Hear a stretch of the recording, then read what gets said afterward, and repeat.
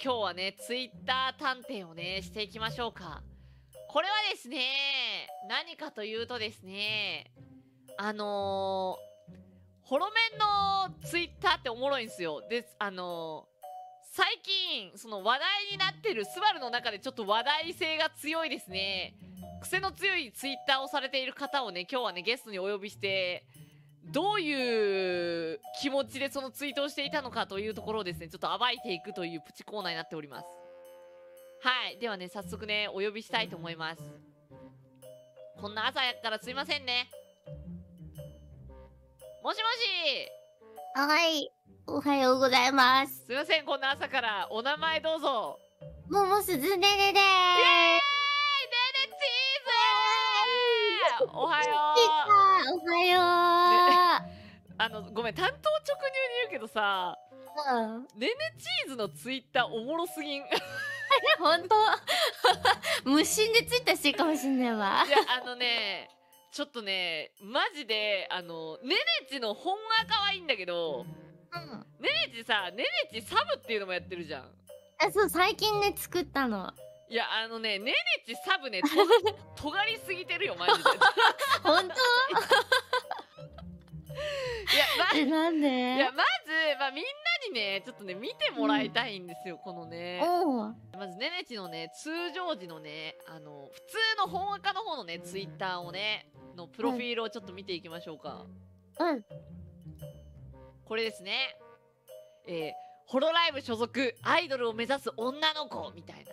はいはいはいはい。いいじゃないですか。いい、可愛いよ、キラキラしてて。かいしょかいしょ。ね、歌ってみたのね、アイコンもね、輝いてます、これ。アイドル目指してるんですよね。そうです、アイドル目指してます。で、アイドル目指してて、で、そのねねちの、じゃあサブのね、ツイッターのね、プロフィール見てみましょうかね。はい。みんなと遊んだり、株クワを自慢してます ここはねねとみんなの自由な空間。自由な空間わかるんですけどあのか株クワ自慢って何ですか？いやねね最近ね、うん、あの株株虫キング家に再現しようと思って。えあれってちょっとあのえ虫キングを再現しなくて株クワ始めたの？あそうそうもともと好きだったんだけど、はいはいはい、まあこ夏だったし、うん、このサバカ作ろうかなって思ったの。えでちょっと待って夏だからえ株クワ専用にこのさえこれ株クワ用に作ったってこと？そう根っこ根っこと遊ぶ用と、うん、はいはいはい。なんか引用率とかで遊ぶ用と、はいはいはい、あとカブトムシの写真載せるよ。待って。マジかよ。カブトムシメインカブトムシがに日本その日本柱の一角を出してんのガチでこのツイートの。そうそうそう いやえあのさだってちょっとあのマジでこれツイッター見てほしいんですけど例えばさあ見た？いや見た見られちゃったいやもうだっておもろすぎるって。ちょっとねあのマジでカブトムシの写真めっちゃあるんよ。そうだよね。かっこいいっしょ。いやかっこいい。かっこいいけどちょっとあの虫はさ苦手な人もいるかもしれんからちょっとねこのそうなんよ。あだから作ったってこと？あそうそうそう。メインのいっぱい人いるところじゃ載せれないかなと思って。あ優しさだったんだそれじゃそうそうそう。でそのね優しさにね溢れたねそのねどういう感じかっていうのを見てきたんですけど。はい。これね8月22日。ああエルファスの産卵に成功した新しい命無事帰りますように。これ何があったんですか？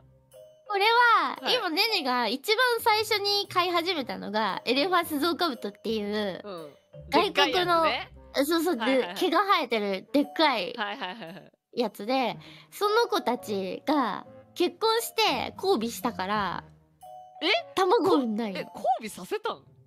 交尾させたん。お前結婚の儀式よ。ブリーダーじゃん！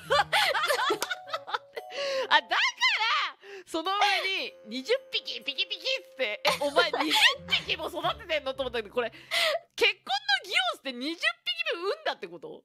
そうそう、20匹今産んでて、で、今多分さらに20匹くらい産んでるから、エレファスゾウカブトの卵だけで今50近くブリブリーディングしてるの。え、お前それさ、全部さ、ねねちそれ、全部孵化したらどうすんの？ああのねあのねねの兄弟がいるんだけど、はいはい。兄弟が標本作るの好きなの。うんだから生まれたら全部綺麗に標本になる。怖っ。ちょっとえ生から死が直結しすぎてない？その なんかブリーダー。標本って、うん、あのそのむ虫の一番綺麗な姿を形に残されてる、ね、はいはいはいはい、だから生まれたてがベストなんよ なんかすごい急になんかちょっとドキドキする回答が返ってきて。あ近所の子に配ったりとかしないわけね。えこ外国産はねやっぱねあのなんだろう近所の子とかに配って間違ってそ外に話しちゃうとさ日本の生態系が崩れちゃうから。そういうことだから飼うしかね。えんだ。そうそうそうお家で育ててあげるしかないか、うん、標本にするしかないよ。お前すごいじゃんちゃんと知識持って。だから今の今まで土掘ってて疲れましたっていうそうなの。すっごい土をなんか衣装ケースみたいなやつに土入れてて、うん、それをひっくり返して、うん。一個ずつ探さなきゃいけないのね卵をね。はいはいはい、そうそうそう。でこの土も捨てれないからもし一個でも卵が残ってたら生まれちゃうからさ全部探し切って、うん、土捨ててみたいな感じでやってると一日終わっちゃう。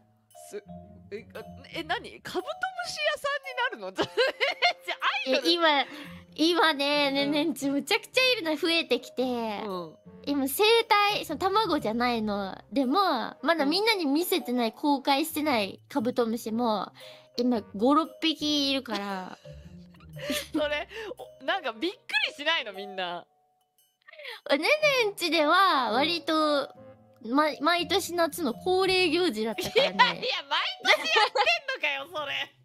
いやこんなに外国産のカブトムシ手出したの初めてだけど、はいはいはい、日本のとか取ってきてやったりとかしてたから、うん、今回初めて一人暮らしの一人で、はいはいはい、あのそうそう実家でじゃなくて一人の方でもうやりたいようにやろうと思ってやってるそうそうそうそうそうそう。ねねちマジでカブトムシ案件あるといいね。いややりたいわ本当に育ててるんで。いやガチすぎる育て方が。エンジョイ勢の育て方じゃないもんなマジで。みんなね卵産むんだよ。かわいい。かわいい。いや卵産むんだよじゃないよ あげよっかあげよっか。いやいい大丈夫大丈夫大丈夫大丈夫。え